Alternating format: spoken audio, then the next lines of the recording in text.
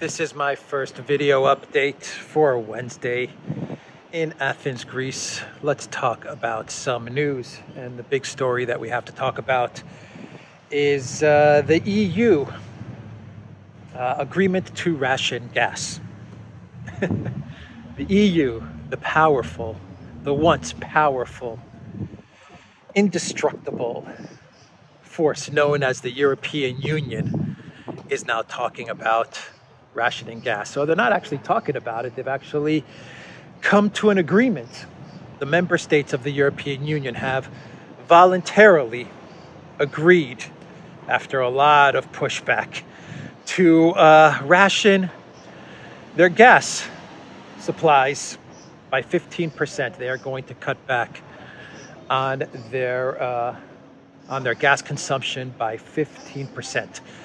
Of course, this is voluntary, and there were a lot of exemptions and uh, cutouts and all kinds of, uh, of give and take in order to get this to pass. And the, uh, the countries that are going to be exempt from this 15% voluntary, I stress the word voluntary, rationing of gas are countries like uh, island nations, for example, Malta, Cyprus, Ireland, which are not on the continent's energy grid. They are going to be exempt from this voluntary 15% gas rationing. You also have countries like Portugal and Spain, which were very much against the initial proposals for this uh, 15% gas gas reduction, and they are going to actually have the uh, choice to to go from 15% and ramp it down to 7% uh, gas rationing if they wish to do so. So they can sit at 7%. You also have countries like um, Poland. Poland said, you know what, we've got uh, enough storage to get us through the winter. And so um, any excess, any excess energy that we have in storage, excess gas that we have in storage, that can be counted towards the uh, 15% voluntary uh, gas rationing benchmark. So Poland got away with that. Hungary, well, Hungary was uh, was the one country that opposed this all the way till the bitter end. But eventually, you got all EU member states to uh, to agree to this. By the way, I'm in Plaka. This is the Plaka area of uh, of Athens, and uh, this is the the church right here of uh, I believe it's Metamorphosis.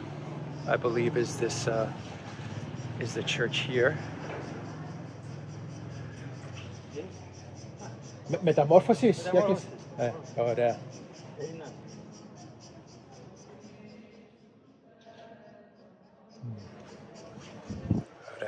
Ευχαριστώ.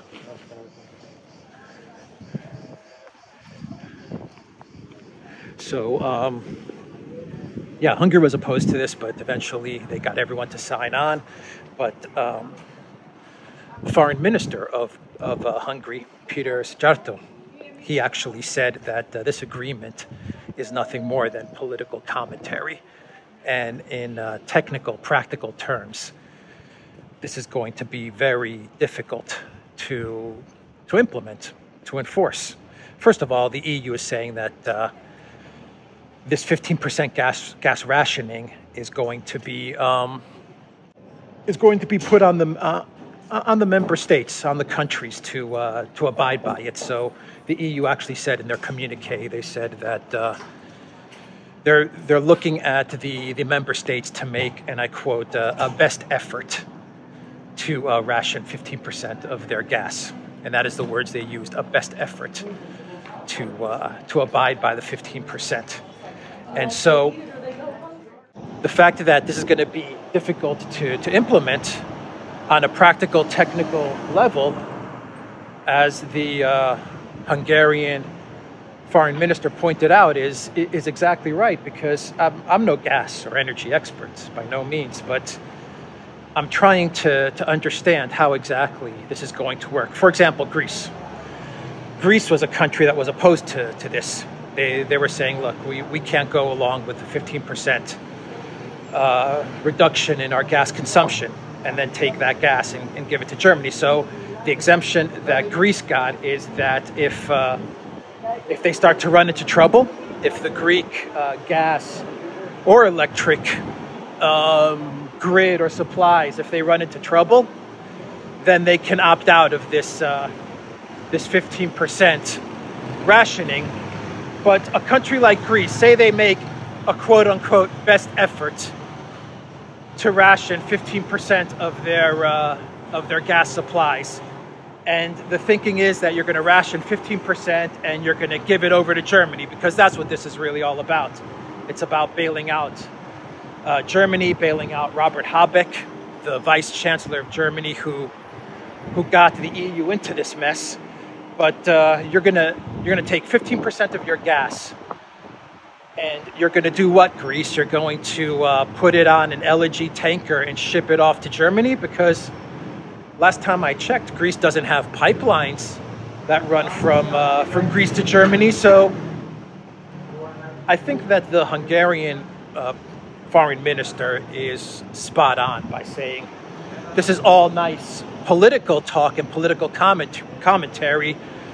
You know, we're uh, we're standing up to Putin. We're the statements, and Russia wanted to divide us, but we're showing that we're that we're unified and all these statements. This is really nice to, to say these things, but in practical terms, how are you going to pull this off? How are you going to get each member state's gas to Germany? How are you going to do this? Um, probably can be done, but it's not going to be easy. This sounds awfully complicated. Why is why is Germany putting themselves through this? For what? For Ukraine? Is there some sort of alliance or some sort of secret deal that Germany has with Ukraine that uh, says that should Ukraine come under come under attack, Germany has to destroy itself, protecting it? I mean, this is just so, so reckless, so bizarre that we're seeing Germany deindustrialize for the Zelensky regime.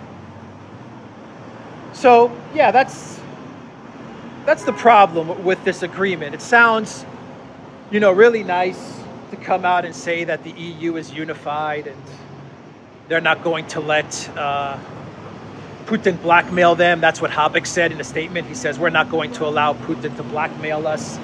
And we've shown solidarity. But practically speaking, I think that Hungary is calling out the EU on their uh, BS. And they're saying, okay, so you're going to get some countries to, uh, to ration off 15% of their gas supplies. And then what? And then what? You're going to send all of these uh, all of this gas to, to Germany on LNG tankers, along with the imaginary LNG from uh, Nigeria, Qatar, and the United States. How did that work out, by the way? Wasn't it Habeck that was boasting just a couple of months ago that the EU doesn't need Russian energy because we're going to get it from Qatar and from the US and from Nigeria now? How is that working out? The US is not sending the LNG anymore because they had one of their uh, LNG plants like blow apart a couple of weeks ago, so they're also in a bit of a bind. So, I mean, all of this stuff is just kind of pie in the sky BS.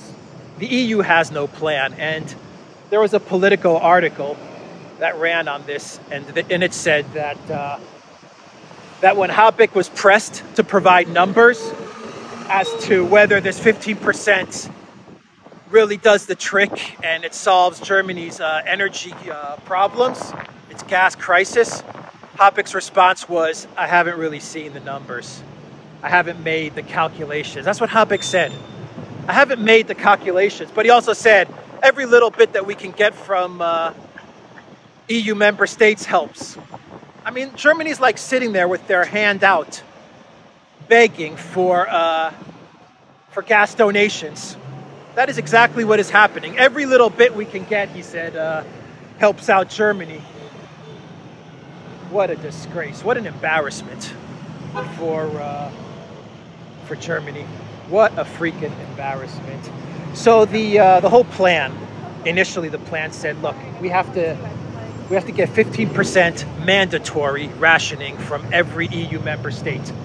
Mandatory is out the windows, is out the window. The 15% from each member state is out the window. And supposedly the 15% mandatory rationing, it was going to provide the European Union with 30 BCM, billion cubic meters of, uh, of gas. And that was going to be enough to get the EU past a mild winter, to get it through a mild winter with no surprises. Those were the statements coming out of the European Union. And we're hearing from energy experts that given the structure of this agreement, in that it's not mandatory, it's voluntary, it's voluntary, and you have all of these exemptions and cutouts, the EU would be lucky to get 20 uh, BCM out of this uh, out of this agreement. Lucky to get that. And once again, this is this is saying that the winter is going to be mild and there will be no surprises this winter as well. So what the analysts are saying is that the EU needed at a minimum they needed 45 BCMs to get them through um, a regular, a normal, to a severe winter without any types of surprises. And if they really wanted to, uh, to play it safe and to make sure they get through the winter, they would need something along the lines of 60 to 70 billion cubic meters in uh, energy rationing. And they're not even close to that. They're at somewhere south of 20 BCM. And that is if, that is if the member states of the European Union voluntarily decide to uh, to get their gas to Germany because it is all about getting that gas to Germany. So all of this is uh, looks very, very shaky at best. It's shaky at best. So I don't know what this is. I'm gonna probably have to go around and read what exactly this is, but obviously this is very, very old. and uh, probably some uh, some residents, like the residents of the uh, of the Acropolis area, right? Of the of the old Acropolis, Athens city. So it's just kind of sitting here on on a sidewalk as you as you walk up and down the, the main street. So that's what's going on with the uh, with the energy with this energy rationing deal. Let me just read you here. Let me look for it. Let me read you the last paragraph of this Politico article, which uh, pretty much supports what Hungary has been saying and what I've been saying in this video, which is that this uh, this 15% gas gas rationing deal is is a complete flop. It says, uh, these are the last two sentences, sentences of the Politico article. It says, one thing is clear. On their own, Tuesday's warm feelings of unity won't be enough to heat households when winter comes. If it doesn't smell like solidarity and it doesn't look like solidarity, it probably isn't solidarity, a third EU diplomat said. They're kind of hinting that uh, EU countries are not going to really abide by this. They're not going to make their quote unquote best effort to uh, to reduce gas by 15% and then send that gas savings to uh, to Germany. They're not going to abide by this at all, and uh, this is not solidarity. This is actually the exact opposite of uh, of solidarity. By the way, the EU said they're going to set up a quote unquote union alert.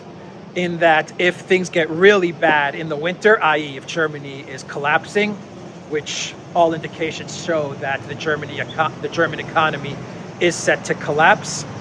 Then they're going to try to make this voluntary 15% uh, energy rationing into a mandatory energy rationing, and they're calling it a union alert. That's what they're going to designate it. But we'll cross that bridge when we uh, when we get to it, which will probably be around October, November, because if you've seen the prices, the charts which show the spike in price for uh, gas and for um, energy.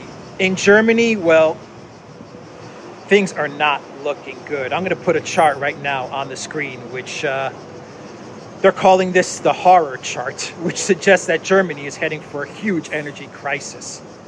Not only are gas prices near record highs, but electricity prices in particular are signaling stress.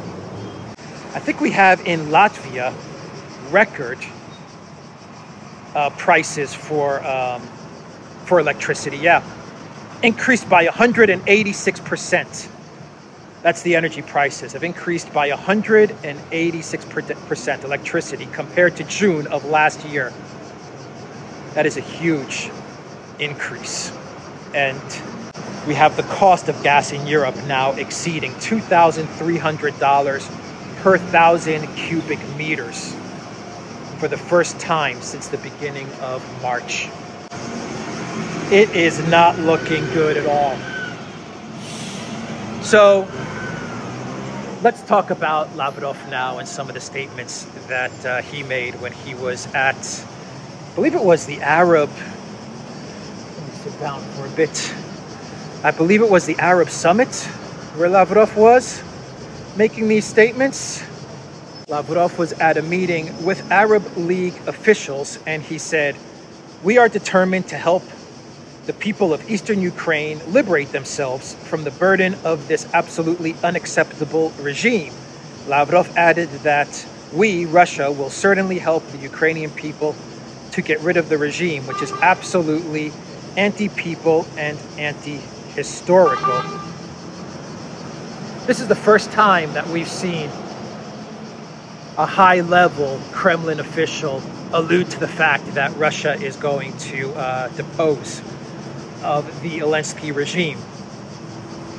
Now, what that means, does that mean uh, an Zelensky regime will be removed from its, uh, its authority in the Donbass Donetsk region? Does it mean that Russia will, will save the Ukrainian people, as Lavrov puts it, in Kherson Zaporozhye?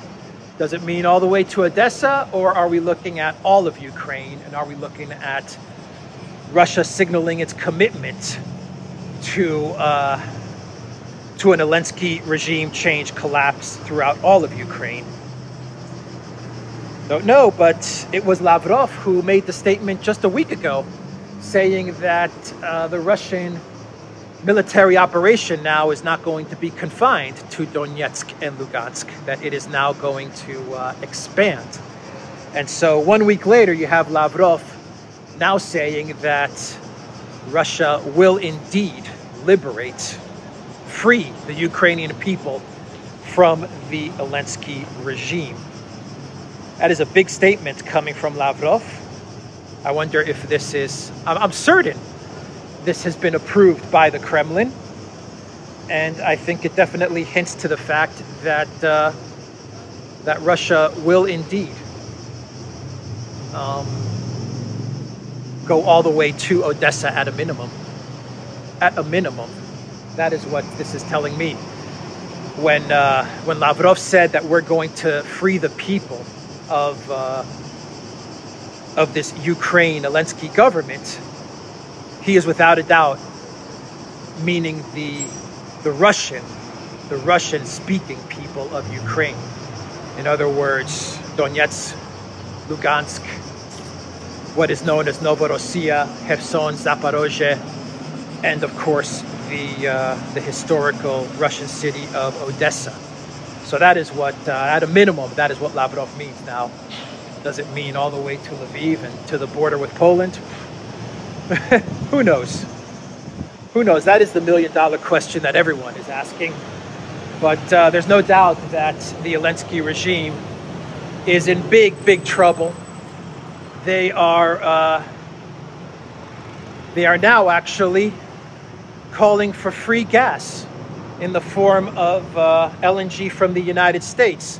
So this is uh, archaeological site of a Roman bath, of a Roman bath.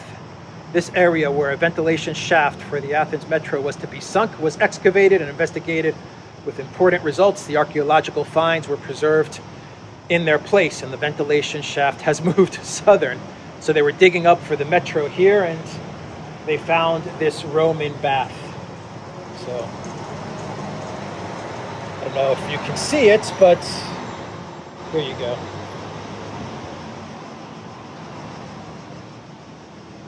Okay. Very cool. So yeah, as they were digging up the uh, digging up to do the metro in Athens, they kept on running into all kinds of uh, archaeological finds, and it would it would stop the the progress of the uh, of the metro until they and then they had to move it elsewhere or find another spot to uh, to continue their work on the underground. But uh, I like the fact that they've preserved it. You know, as you're walking in the street, just kind of hit upon this and uh, that's pretty cool. So yeah, the Zelensky regime is um, is saying that they would like a gas lend lease. In other words, not not free gas, gas on loan. And I'll tell you what's going on here. And this is what the uh, the prime minister of Ukraine, uh, Denis, I think it's Denis Shmyhal, this is what he said in a statement uh, yesterday. He said that uh, they would like, in order to prepare for what is going to be a very hard winter, they would like US LNG provided in a kind of gas lend lease program. So on loan, very much like weapons, like a military lend lease. Give us the gas and then we'll pay you over 20, 30, 50 years um, in the future. And this is interesting because Yulia Tymoshenko, the MP and one time presidential candidate, they call her the gas princess because she's like a multi billionaire oligarch from her uh, stakes in Ukraine uh, energy gas companies. She came out with a statement saying that uh, Naftogaz is involved in the scam of the century. And she said that uh, Ukraine's state owned Naftogaz gas company is supposedly running a massive embezzlement scheme as it seeks to get billions of dollars from the government for alleged gas purchases, even though Ukraine presumably does not need additional gas for the winter. This is according to Yulia Tymoshenko, who is in the parliament and is also the head of the Fatherland Party. According to Tymoshenko, the lawmakers were about to pass several bills that would grant Naftogaz additional funding for gas purchases ahead of winter. One of them would grant the company compensation from the budget that was worth 150 billion hryvnias, or 4.08 billion dollars, to purchase an additional 6 billion cubic meters of natural gas. Tymoshenko also said, or also claimed, that the government planned to use international financial aid provided to Ukraine by Western nations for that compensation, Tymoshenko's party wrote in a statement last week. According to Tymoshenko herself, Naftogaz also sought to request another 150 billion hryvnias, or 4.08 billion dollars from the budget to increase its authorized share capital and then use the money to buy gas. According to Tymoshenko, Ukraine already produces and stores enough gas for the winter and might even get up to 7 billion excessive cubic meters of gas during the upcoming heating season. So, those are the statements from the gas princess herself, Yulia Tymoshenko. And on top of these statements with regards to Naftogaz and Tymoshenko, we have statements that Naftogaz has actually defaulted on its debt. And this is coming in today on Tuesday morning that Ukraine's state run energy company Naftogaz defaulted on its foreign debt. The firm announced on Tuesday Naftogaz was unable to make payments on Eurobonds before a grace period expired. The company said in a statement on Telegram, adding that it has not received consent from the cabinet of ministers of Ukraine to make the necessary payments interesting that that they announce a default on Telegram. that's that's the first. The Ukrainian government earlier prohibited payments due on July 19th on its Eurobonds maturing in 2022 and 2024, citing the country's need to accumulate natural gas in sufficient quantities before the upcoming heating season. This is all par for the course for uh, a country like um, Ukraine. This is nothing new. Uh, corruption, embezzlement. Oh, th this is this has been going on for you in Ukraine for about 20 years. So, you know, the the only the only difference now is that the EU and the collective West is now on the hook for all of this stuff. That's the difference. Naftogaz claims it had sufficient funds to carry out payments on its Eurobonds and that it warned the government of the risks and negative consequences for Naftogaz and the country of a possible hard default. However, according to the firm's Telegram statement, the government's effective ban on payment means that the government defaulted on Eurobonds of Naftogaz. And now turning our attention to some more problems in Ukraine via the New York Times. The New York Times ran an article the other day saying that Ukraine's military morale is also in decline. There are signs, five grueling months into the war, that the sense of unity is fraying at the edges within the Ukrainian military. The New York Times pointed out in a report on Monday.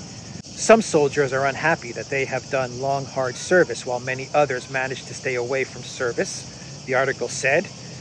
And there is no one to replace us. There are too few people. It's very hard for the guys psychologically, a Ukrainian soldier who'd spent five months fighting commented.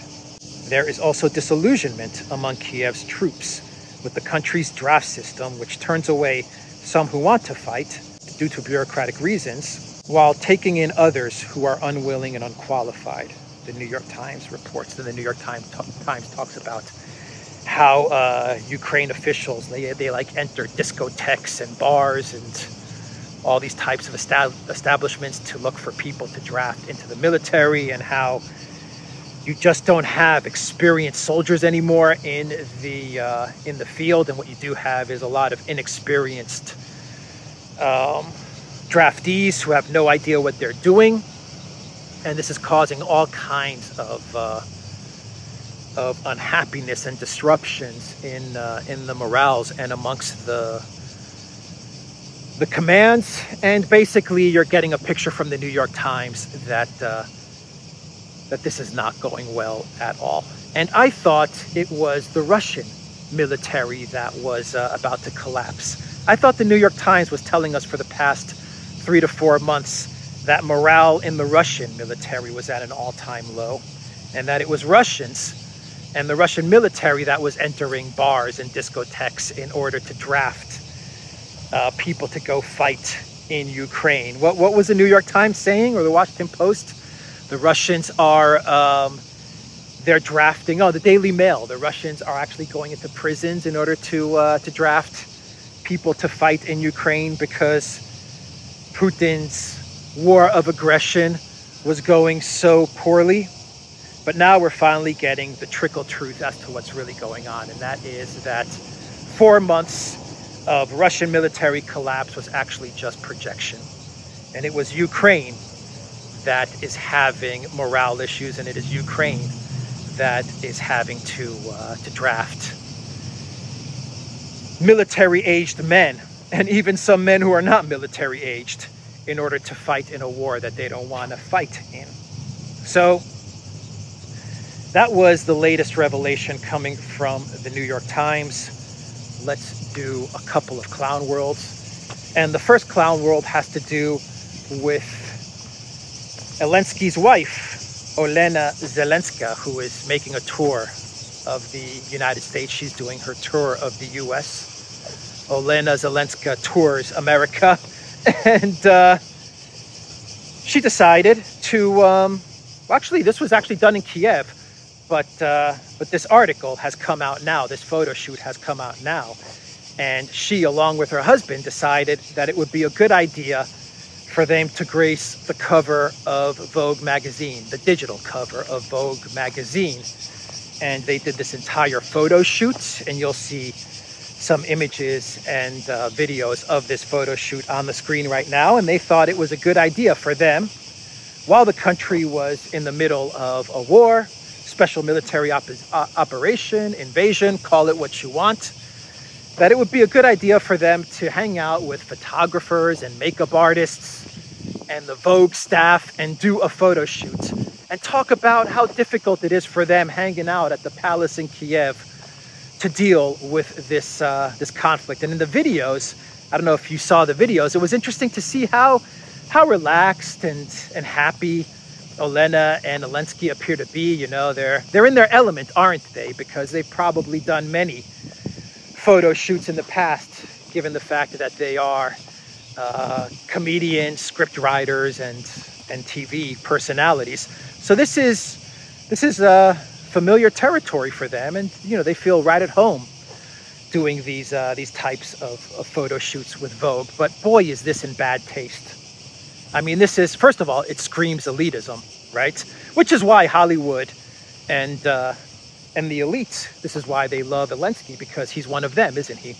But it definitely screams elitism, without a doubt. But more importantly, it is. Uh, it is a slap in the face, a disgusting slap in the face to the Ukrainians who are being drafted, as I said before, who are being drafted to fight in a war that they don't want to fight in, who are dying on the front lines, who are being sent to their death, who are being maimed, maimed injured, uh, leaving the battlefield with probably lifelong psychological uh, trauma all of these things. And I'm not even getting into the economic situation of Ukraine.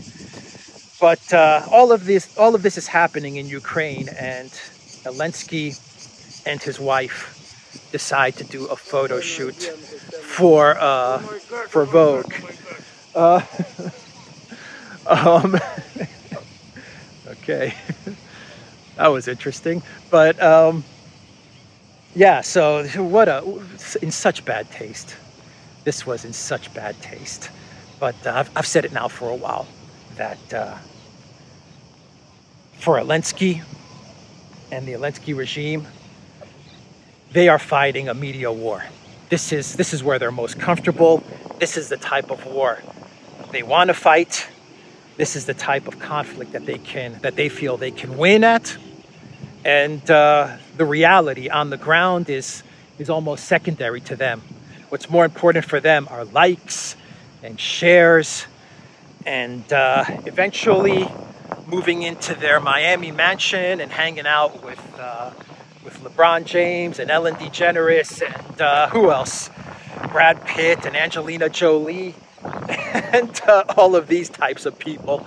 That's what's really important to, uh, to them and to their whole cast and crew, the directors and producers who are in their government this is without a doubt for them the most important thing is uh, is the media optics uh, part of this conflict. And I just thought I, I, thought the video was incredible to see how how much of a good time they're having. And just the fact that uh, that you had the Vogue team coming in there to prepare the narrative you know they're you can see by the images they've got the the the areas which have uh, which have been hit by by bombs or artillery. They've got those picked out. They've got the cameras there. They're going to paint the entire narrative of uh, Olena, Zelenska, and uh, Zelensky as the uh, as the wartime leaders of Ukraine fighting for for the world's freedom against Putin. You know, they're they're painting that whole narrative, and they don't they don't have a problem putting up the videos and the photos on social media. You know, they don't they don't want to hide any of the of the scenes that uh, that took place, right? The backstage scenes of this uh, this propaganda puff piece. So that is the first clown world. The second clown world has to do with uh, who else? Boris Johnson. So um, the Telegraph is saying that the conservative Tory party members actually believe that Boris Johnson would be a good NATO Secretary General. So Stoltenberg is Stoltenberg is on, is on the way out in uh, September, and they're going to need, need a replacement. And the UK, the Tories are saying Boris is the right man for the job because he did such a good job in uh, getting weapons to Ukraine. He should be the uh, NATO Secretary General. So, once again, an incompetent, clownish buffoon leader of a collective West country, instead of being punished for destroying his country, sending his country over the cliff, he's going to get promoted up. Just like Vander Crazy, just like Lagarde, Boris Johnson, the same thing. He's going to get tucked away in one of these globalist institutions. He's going to make a fat, tax free salary and he's going to run around the world blaming Putin for everything and screaming for war with Russia. And uh, we saw Boris Johnson's managerial skills as Prime Minister of uh, the UK. I'm sure he's going to bring those managerial skills to uh, NATO head offices in Brussels and he's going to do a real bang up job. I mean, he's going to he's going to suck. He is going to suck it up big time. I'm sure the Russians are going to be happy to see Boris there as Secretary General because if you had to choose between Stoltenberg and, and Boris Johnson, well, Boris is is, is much more incompetent than uh, than Jens Stoltenberg. That's for sure.